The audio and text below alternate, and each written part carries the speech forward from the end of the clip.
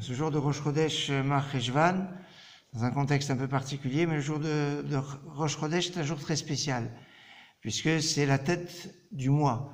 On est après Rosh Hashanah, qui était la tête de l'année, et ce Rosh Chodesh, il est spécial puisque euh, c'est le premier Rosh Chodesh de l'année qui est comme un Rosh Chodesh, puisque le premier Rosh Chodesh de l'année, c'était Rosh Hashanah, on n'a pas fait le Moussaf de Rosh, de, on n'a pas fait de, de Hallel, c'était un Rosh Chodesh très spécial. Et là, on reprend un peu le, le cycle normal avec un Rosh Chodesh où on fait les, les, des choses pas, comme Rosh Chodesh. Et ça a une résonance encore plus particulière parce que le mois de Mar Cheshvan, c'est un mois euh, où peut-être la Iloula la plus connue, il y avait beaucoup d'Iloulotes au mois de Mar Cheshvan, notamment cette semaine, l'Iloula de Rabbi Yosef, de, de, de, enfin, il y a beaucoup, beaucoup de Rabbanim, mais l'Aïloula peut-être la plus, la plus réputée, c'est l'Aïloula de Rachel Imenu. Et Rachel, elle a un lien spécial avec le Rosh Chodesh. D'abord, c'est une femme, et vous savez que le Rosh Chodesh, c'est la fête des femmes, puisqu'elles n'ont pas voulu participer à la faute du Vaudor. Et donc, euh, normalement, tous les, les Rachel Chodeshim auraient dû être des jours de fête. Mais comme on a fait le Vaudor, donc on les a perdus. Mais les femmes n'ont pas perdu. Donc, euh, c'est un jour spécial pour, euh, pour, pour toutes les femmes. Et donc, et, et, quelque part parmi les femmes, ben les, les, matriarches ont un statut spécial, et parmi les matriarches, Rachel a un statut encore plus spécial, parce que c'est celle qui, qui niftera le, le, plus jeune. On est, il y a un lien. Et on nous dit dans le, le Yiratson de Rosh Chodesh, on est tous les enfants de Rachel. Comment les enfants de Rachel? Parce que les enfants sont ceux qui sont nourris par.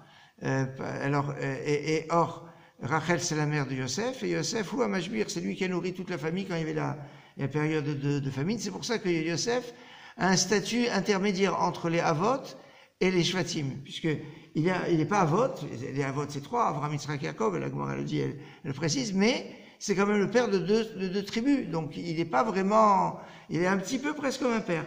Et donc, comme il est un peu comme un père, donc sa mère, eh bien, c'est un peu la, mère de tout, tout le clan d'Israël. Et ça, c'est une dimension assez particulière parce que le Moussaf, de Rosh Chodesh, tel qu'on l'a, on l'a fait euh, tout à l'heure, commence avec Raché Chodashim, les Amecha Natata. Les, Raché Chodashim, tu as donné à, à, ton, à, ton peuple, et, euh, et, c'est très, très intéressant parce que Raché Chodashim, les Amecha, les initiales, ça fait Rachel. C'est pour ça que certains disent que le, ce, ce, ce texte-là, on le doit à Rachel. Alors, cette, cette année, cette, ce mois-ci, pardon, le 11 Marcheshvan, c'est la de Rachel Imenu, dans le, cette reprise de, de, de Rosh Chodesh, donc avec une dimension euh, spéciale. Alors c'est pour ça que je vous, invite à ce que Rosh Chodesh, c'est bien de faire une Seouda, euh, en, en, souvenir de la Seouda que les que les édimes qu'on faisait pour les témoins qui venaient témoigner qu'ils avaient revu la, la ils avaient vu la, la lune, euh, parce que de toute façon on avait besoin de, que de deux, mais il fallait que maximum de personnes puissent venir, parce qu'on ne sait jamais. Et pour qu'ils soient motivés à venir, alors il y avait une belle, un beau banquet une Seuda qui était, qui donnée pour les témoins qui venaient euh, témoigner euh, du renouvellement de la lune auprès du Bédine. Et en souvenir de cela, il y a un chapitre dans le Shulchan qui parle la Souda de Rosh Chodesh. Donc c'est bien de faire une Souda à Rosh Chodesh avec du pain, de, tant qu'à faire, et avec de la viande. Euh, souvent la grande question, Rosh Chodesh, ah, on mange la viande, on mange la viande. Ah, ben, évidemment qu'on mange la viande, c'est, puisque c'est Rosh Chodesh. Oui, mais si à Rosh Chodesh, ah, on, se, on se dit, ben, évidemment qu'on mange la viande. Ah, c'est parce que c'est Rosh Chodesh avec après on va pas manger la viande que là on dit ah il faut manger la viande à Rosh Chodesh. Donc tous les Rosh Chodeshim il faut se poser la question. Donc euh, c'est pas une obligation que je sois clair. C'est pas une obligation de faire moutsi non plus. Pour ça que si on oublie aller bien dans le Mercat Amazon on recommence pas.